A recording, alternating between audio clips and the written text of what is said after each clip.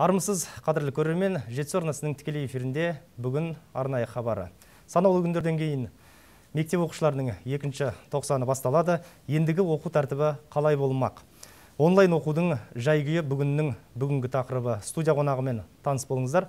Алматы облыстық білім басқармасы басшысының орынбасары айжан маманқызы. Қадірлі ағайын қандай да бір сауалдарыңыз болса экранның төменгі жағында байланыс нөміріміз көрсетілген. Сол бойынша хабарласыңыздар студия қонағына сауал жолдасаңыздар міндетті түрде біз сіздерді байланысқа қосамыз. Айжан ханым қош келдіңіз. Иә алдағы дүйсенбіден бастап ә, екінші бұйырса бастайды мектеп оқушылары.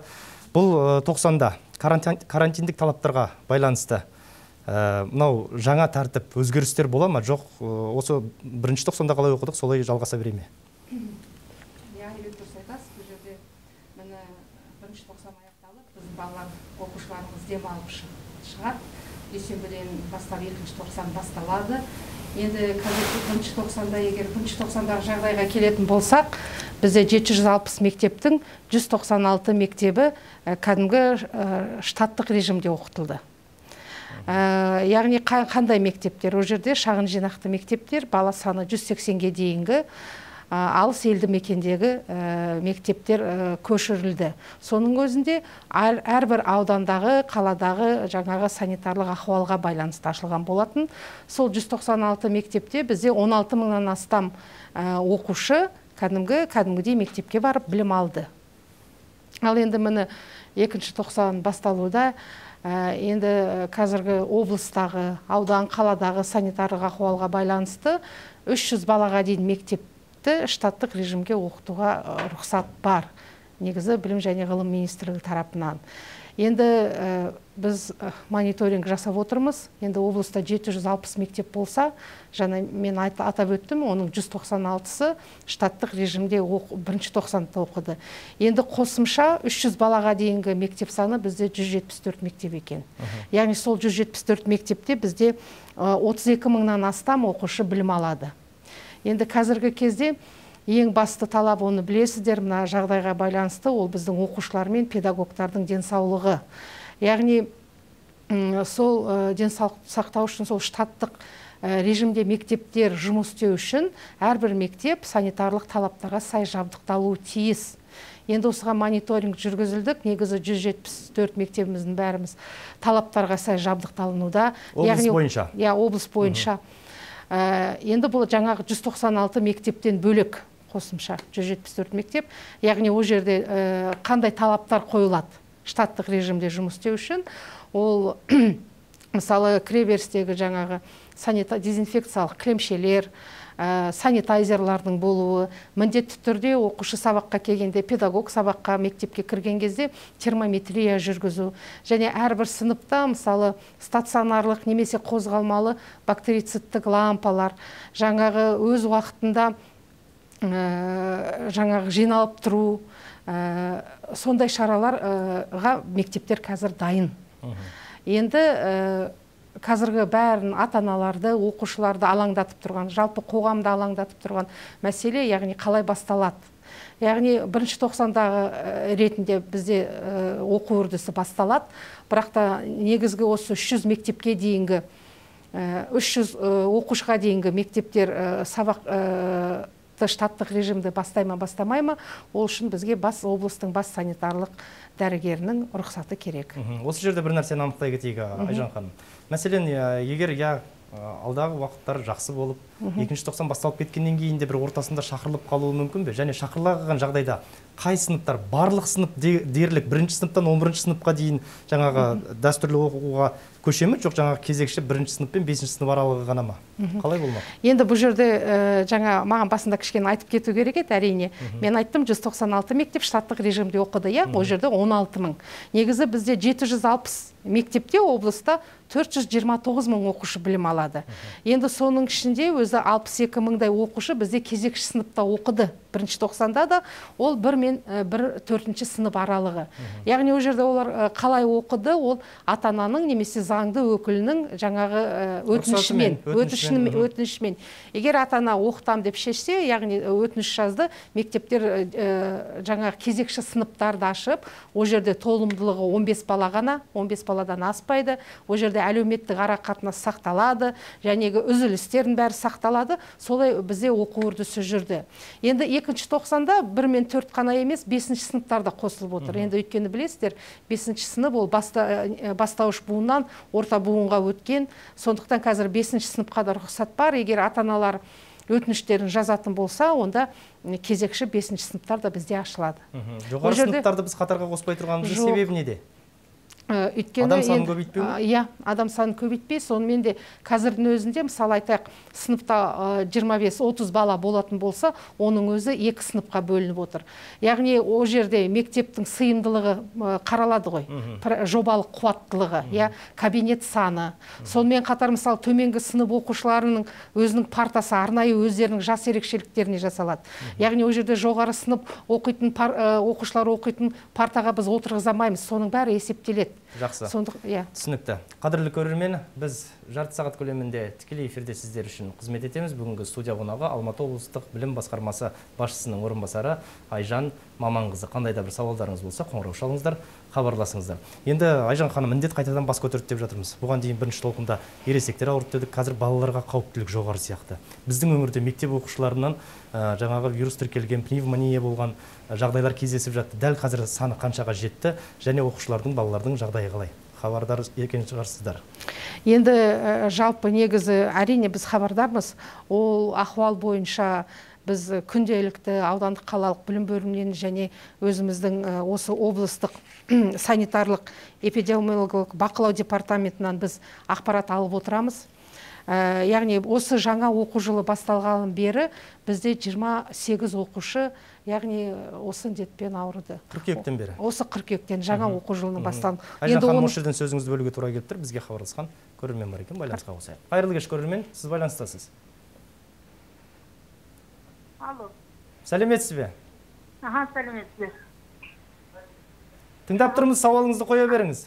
Сәлеметсіз мына не біз енді балаларымызды онлайн сабақпен оқытамыз. Ай сайын ай сайын ақша кетеді.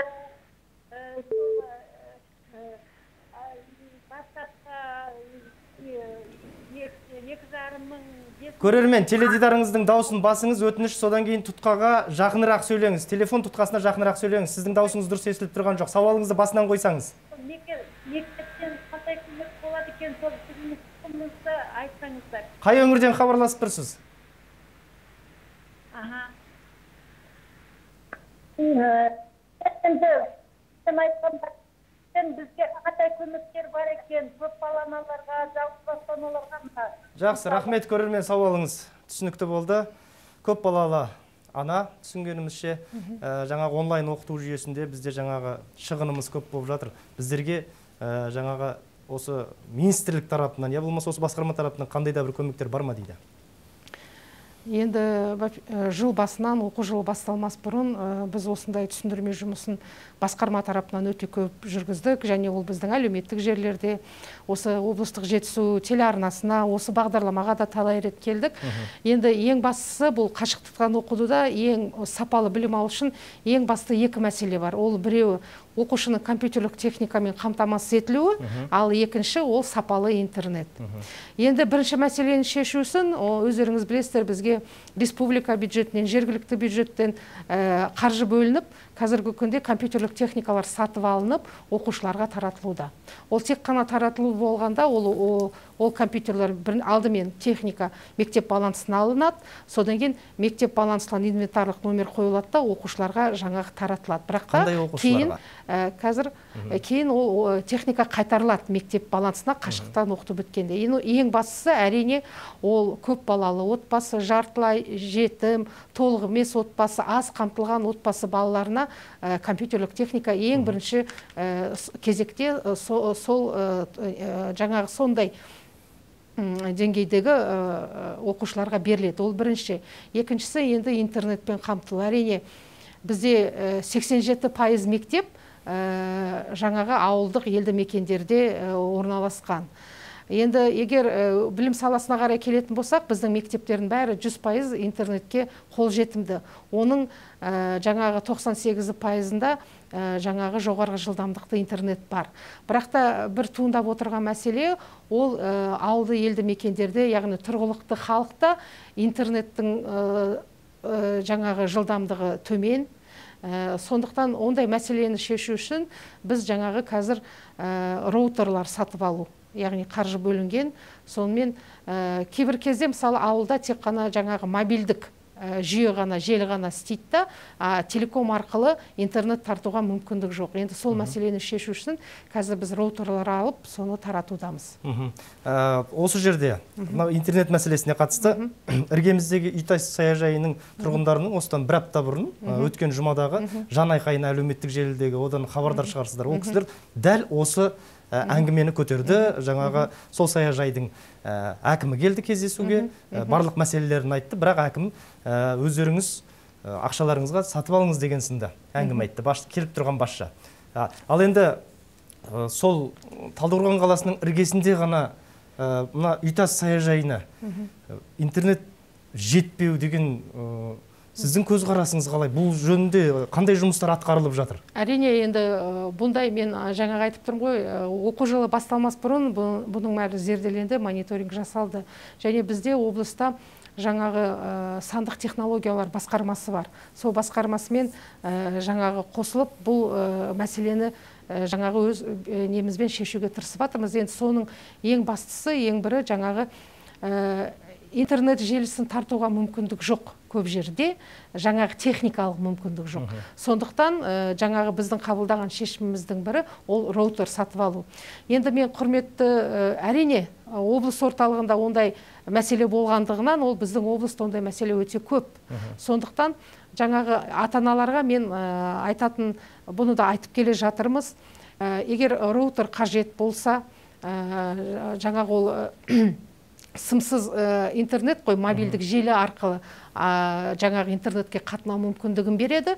Сондықтан ә, класс жетекшіге мектеп әкімшіліге міндетті түрде оны айту керек. Бірақ та мен ә, білем ол туралы мектеп әкімшілігі де ә, жаңағы қалалық білім бөлімінде ә, білет ол ә, несінен ә, бірталай жұмыс жасалынды. Мысалы спонсорлар есебінен ә, роутерлар алып сатып беру сіздер сол ә, роутерді қол жеткізгендеріңізге қанша уақыт болды? Неге оны жаңағы үйтас саяжайындағы ә, мектеп әкімшілігі білмейді? Жоқ негізінен қазір айбек ол былай сатып алу жұмыстары бізде әлі жүргізіліп жатыр. Біз қазіргі күні еңбекші қазақ ауданының жаңағы тұрғындарына ғана бердік. Әлі де таратамыз. Түсінікті. Енді жаңағы көрерменіміз ә, жаңағы ә, компьютер мәселесі иә жаңағы шығын мәселесін айтты. Енді дәл осындай ә, өзінің мәселесімен мектепке барса ол кісінің қолына енді қай өңірден хабарласып тұрған өкінішке қарай біле алмадық. Иә. Мектепке барса басшылыққа айтса болмаса класс жетекшіге жеткізсе міндетті түрде көмек болады. Иә ол мәселе. Бірақ та енді мына жерде мынаны ұғыну керек. Яғни жаңағы білім беру мекемелерінен ә, яғни ақша беру жаңағы мәселесі қарастырмаған. Біз ақша бере алмаймыз. Енді қазірдің өзінде білесіздер иә ол бүкіл мемлекет білет мемлекеттегі халық білет оны жақсы. Осы жаңа оқу жылының басында бізде жаңағы білім тарифі берілген. Мүмкін ата аналар сол бір 990 мыңға егер білім беру ә, жаңағы платформаларына тегін қатынайтын ә, білім тарифі берілген ол 990 теңге. Сондықтан ә, абылай мектеп ә, жаңағы интернет тарифін төлеу ондай нені Жақсы. өзіне ала алмайды. Түсінікті. Көрермендеріміз қанағаттанарлық жауап алды деп есептейміз. Ә, осы орайда бізге хабарласқан тағы бір көрермен бар екен. Байланысқа қосып көрейін. Қайырлы кеш көрермен. Сіз байланыстасыз саламатсыз ба саламатсыз. Тыңдап тұрмыз. А, екінші тоқсанда жаңағы штаттық режимде оқиды деп жатыр ғой. Соған байланысты мына оқушылардың киім киюіне қандай талаптар қойылады? Еркін формада бола ма? Жоқ. Мектеп формасын киілеміз содан кейін джинси келе ме? Соны. Жақсы рах- рахмет көрермен сауалыңызға. Мектеп формасына қатысты айжан ханым бір ескерте кететін нәрсе біз тікелей эфирдеміз уақытымыз санаулы сондықтан қысқа нұсқа жауап берейік. Ә, енді ә, рахмет мынандай сауалыңызға. Әрине егер штаттық режимде мектеп көшіп жатса осы биылғы оқу жылына осы пандемияға карантинға байланысты мектеп формасы міндетті емес. Мектеп формасы міндетті емес. Түсінікті. Енді оқытудың бір тетігі почта арқылы дедік. Дәл қазір почта арқылы оқып жатқан балалар бар ма? Жоқ біз интернетке қол жеткіздік па Ә, айналып келгенде сол интернет желісі тағы да. Бізде енді ә, яғни бұл әрине бұл мәселе туралы көп айтуға болады ол жерде өзінің түйткілдері өте көп қой. Сондықтан егер мысалы бірінші тоқсан нәтижесіне қарайтын болсақ бізде елу сегіз мектеп оның ішінде он мыңнан астам оқушы иә телевидение арқылы білім алуда. Телевидение арқылы өйткені олар штаттық режимде ол ол жерде қалай бізде ә, жаңағы кейбір мектептер аралас ол оқушының тұрғылықты жеріне байланысты ғой. Мысалы сол даже талдықорған қаласында қазір алайық. Ол жерде бір сыныпта жарты оқушыда жақсы интернет бар жарты, жартысында интернет жоқ. Ә, мысалы яғни сонда ә, жаңағы даже ватсап желісімен қатынауға мүмкіндік болмаса мұғалім ә, жаңағы тапсырманы бере алмаса иә. Бірақ та о, телевидение арқылы оқушы оқытып жатыр ғой бұл жерде бізге кері байланыс керек. Сондай жағдайда бізде әрине почтамен немесе кейбір жағдайда волонтерлар арқылы жаңағы кері байланыс орнатылады. Жақсы енді мынау жыл басында қабылданған ә, жыр болған деп те айтайық тіпті педагогтар мәртебесі заңы қабылданды. Дәл қазіргі уақытта ә, сол ә, педагогтардың мәртебесін педагогтың ар, арын таптатпай балағаттатпай ә, шынайы қорғаны бола алып жатыр ма бұл заң? Әрине ә, бұл заң ә, көтерілгенде енді көптеген оң нәрселер білім беру саласында орын алып жатыр иә? Сондықтан ә, ең бастысы педагог өзіне тиісті емес жұмыстан арылды иә педагогтар. Онымен арқылы пед- педагогтардың жаңағы еңбек ақысы көтеріліп жатыр. Мысалы желто- ж- қаңтар айынан осы 2020 жылдың қаңтар айынан ә, барлық педагогтардың зарплатасы 25 пайызға артты. Осы жаңа оқу жылынан бастап қыркүйек айынан бастап мысалы қосымша сынып жетекшілікке тәлімгерлікке ә, арналған Дәптер мысалы, тексергенге. дәптер тексергенге тағы да ә, не қосымша ә, жаңағы көтерілді еңбек. Бұл сондай- барлық ұстаздарға. барлық ұстаздарға. Сонымен қатар мысалы бұрын ондай мысалы қазіргі магистрларға ақша алады. Доктор PhD-лар үшін сондай атақтар үшін қосымша ә, үстемақы алады. Айжан ханым ә, дәл кешегі көтерілген ә, тағы бір мәселе ә, фейсбук әлеуметтік ә, желісінде оңтүстік қазақстан ә, облысында болды. Ә, білікті ұстаз ә, танитын шығарсыз айман сағидулла. Өзінің парақшасына кеше жариялады. Рұқсат болса сөзбе сөз оқып берейін. Бұл білім министріне жолданған хат еді. Асхат аймағамбетов мырза газет науқаны басталды. Газеттерге тоқтау қойыңызды сұраймын. Ар да жоқ намыс та жоқ. Мектепке жібереді 500 мыңға 1 миллионға жазыласыңдар деп директорлардың мойнына қиып салады. Қолдарына газеттердің тізімін береді. Бір бөлімі тарапынан осындай тапсырма келген бір бөлім та- тарапынан осындай тапсырма келген соң директорлар орындайды. Әр мұғалім 20 мың 25 мың теңге газет теңгенің газетіне жазылуға мәжбүр болады.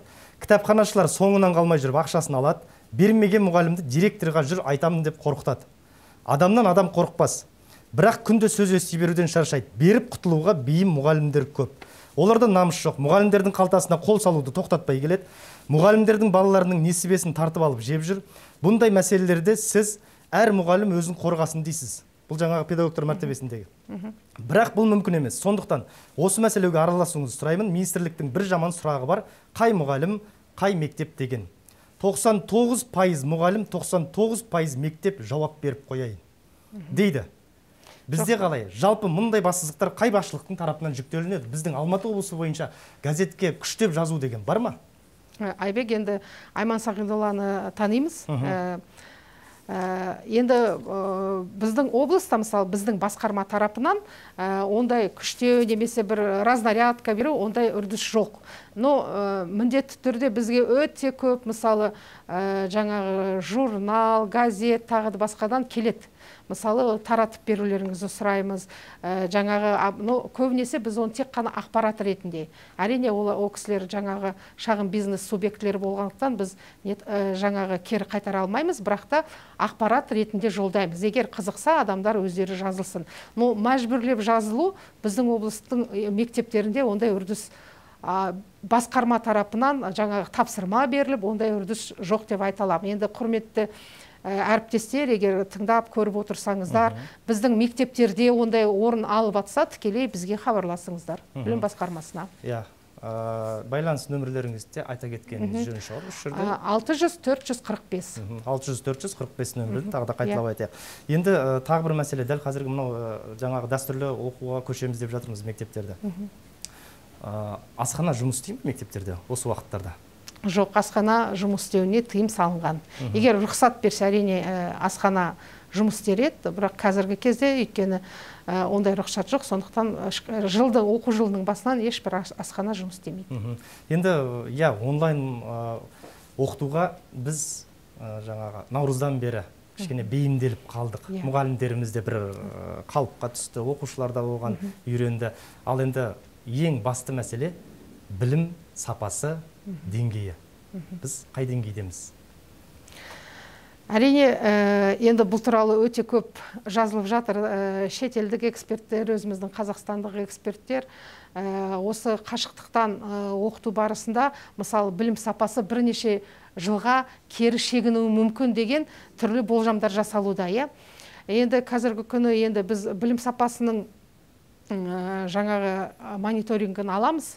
Қазір жинақтап жатырмыз. Өйткені тоқсан енді ғана аяқталып қорытындылар енді ғана шығарылып жатыр. Ә, бірақ та негізі бұл жерде ә, мен шақыратыным ол сандық статистикаға қарамау. Ең бастысы біз осы қашықтықтан оқыту басталғалы өзіміз оқушылармен де онлайн режимде сұхбат жүргізіп жатырмыз. Ата аналармен де сұхбат жүргізіп жатырмыз. Сол кезде ең басты мәселе біз айтатын, айтатынымыз бұл жерде білім сапасы қай кезде болады? Өйткені егер жоғарғы сынып оқушыларын арнаймыз да егер өз өзін ә, жаңағы тәртіпке үйретіп мысалы самодисциплина дейді ғой иә білім үшін білім керек деп оқыса біздің педагогтар мен ойламаймын что олар сапасыз білім беріп жатыр деп ә, ал енді ең басты бұл жерде оқушы. Сондықтан екіншісі төменгі сынып оқушыларға орта буын оқушылар ол баланың аты бала. Иә? Сабаққа қатыспауы мүмкін тағы да басқа себептер иә? үзуге мәжбүр болып тұрмын. Себебі хабарласқан көрермен бар екен содан кейін жалғастыра қояйық. Хорошо. Қайырлы кеш көрермен. Иә. Тыңдап тұрмыз айта беріңіз. Сауалыңызды қоя беріңіз. Аха менің сұрағымшы мен мына ескелді ауданы иә. Жетісу ауылынан хабарласып отырмын. Осы екінші тоқсанда балалар оқи ма бірінші? Мхм. Э, тағы да онлайн оқу бастала ма? Одан кейін бізде мына мен жетісу болғанда жетісудан балалар оқиды мен өрқұсақ ауылында тұрамын. Мына қызылекте бер жағында үш километрге жетпейді ана автобуспен апарып жүреді ғой. Ja сол жерде ешқандай интернет жоқ бізде дым. Балалар бар ғой былай оқимыз біз. Дөңге шығамыз жотаға шығамыз. Е, мына жазда ғой жарайды енді күн суытты қазір енді қалай оқиды білмеймін.